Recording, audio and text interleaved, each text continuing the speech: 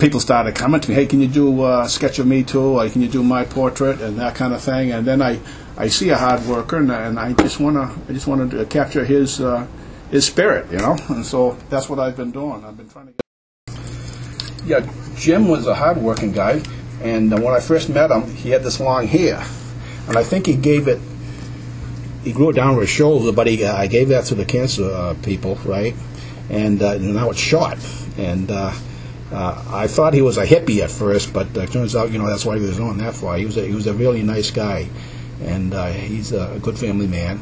And uh, I I thought, uh, you know, I thought he was the the worker, but turns out he was the foreman, and he had a lot of personality. And uh, I took his picture because I thought it was really nice of him to, to do that with the Bob Harvey thing on top of the I-beam. Uh, the Bob Harvey, he lost his uh, uh, life in uh, the crane accident in the Quincy shipyard. Uh, they were trying to dis- disassemble the uh, the crane, and the uh, piece of it fell on me and killed him. So that he was part of the uh, Ironworks at Boston Southern, and uh, because of that, they wanted to dedicate a beam to him up there and uh, express their, you know, their sympathy towards that accident.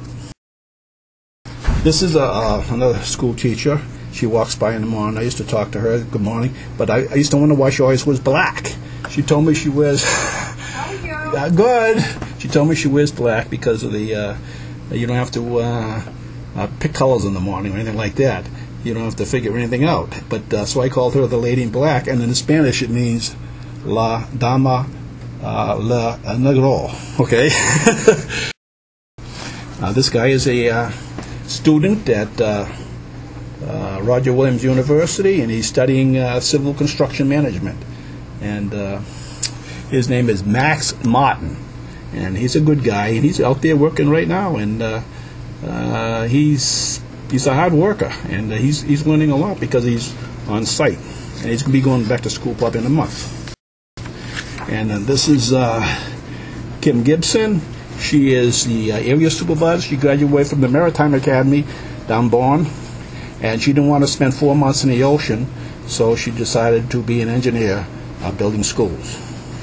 And that sounds like something a girl would do, right? and this guy is a hot spook. He stood behind the fence a long time trying to get in. He's a steel worker, but he finally got in. He finally got in, and um, once he got in, and the poor guy only worked a month, but he was a, a professional boxer at one time. So I said, "Look, I'll draw you a picture of you, and I'll do it as, as a boxer." And uh, when I gave him the picture, he got laid off that day. So I, I gave him just in time, and uh, he gave me a hug for it and all that kind of thing. And I told him I'm not that way. now this guy, he just came up about a month ago or so, and that's uh, Brian Texeria, and he works for Eli Martins, and he's half um, Mashpee Indian and Cape Verde, and he's a fisherman. And I always, I told him I used to go down Mashpee and fish years ago, and I would always try to catch the first striper, but the Indians would catch them before I do. So I said, I'm mad at you because you'd always get the sports. There was a sports store that'd give an award, like a fishing pole or something, whoever catches the first striper, and the Indians will always beat us, Mashpee Indians. This guy's uh, police officer Kent Yee, and uh, I did a little uh, detail work with. I didn't actually do physical detail work with him, but I was out there on my post, and I got to know him, and he was telling me that he's an ABC uh, Chinese. I said, "What's ABC?" He "American born Chinese, first generation." I said, "Well, that, then that makes me ABS." He said, "What's that?" American born Swede, first generation. And uh, this is uh, Dave Cahill. He's a laborer, and uh, he was here in 2009. 2009 was tough year. It rained for three months. It was cold, it was wet, it was dirty, and uh, he was in the pits with all the rest of the laborers building the uh, foundation for the school.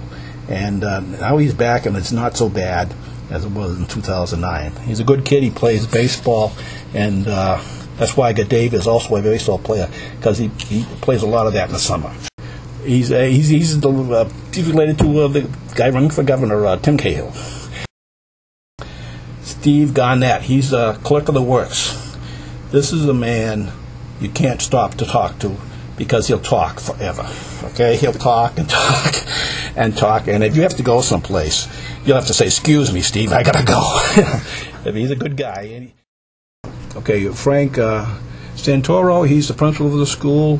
Uh, he's done a lot of tours, so I used to making fun of him doing tours when he comes through. I says, uh, "Are they paying you yet for this this kind of thing?" But he he's very he's very conscious about safety and everything. He'd take uh, six or seven people through the building, and sh- he showed them, you know, through the construction, uh, uh, um, you know, until uh, even I think he's still doing it, and I think he's proud of how this building is coming and and that kind of thing.